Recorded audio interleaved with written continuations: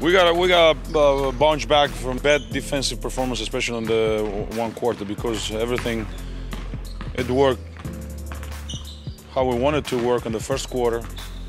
The next two quarters that we were we were down, we hustled more in uh, Panathinaikos game, but that uh, second quarter killed us because in the last four minutes they scored 18 points, or the first six minutes they scored 18 points.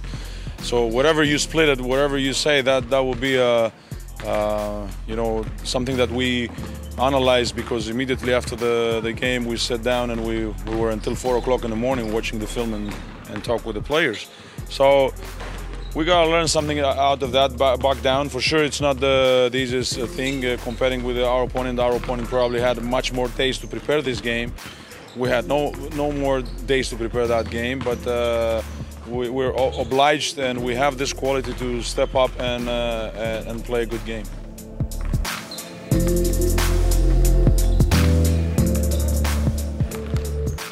Two things that we have to think about. The one is energy uh, how to recover as fast as possible because there's only one day in between games. And the, uh, the other thing that we need to worry about is the condition of the body. So the first thing we do is after the game, we provide, even in the locker room, some food, some simple things like bananas or some uh, carbohydrates and stuff like that that will help the players recover the energy fast. After that follows a meal.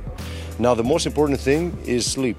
And unfortunately, uh, you know, after a game, it's not an ideal situation. People sometimes they cannot sleep, but sleep is probably the most important thing for the body to recover. Then we have the flight. During flight, uh, we tell our athletes to stay hydrated and also get some snacks so they keep uh, recovering their energy. And then we get here on the court. Uh, we try to prepare them physically. So we move them. We want to work on our mobility because we were sitting for long hours, go into some muscle activation techniques and just get the body ready to function again. And then some light activity so guys can get back into their, let's say, routine.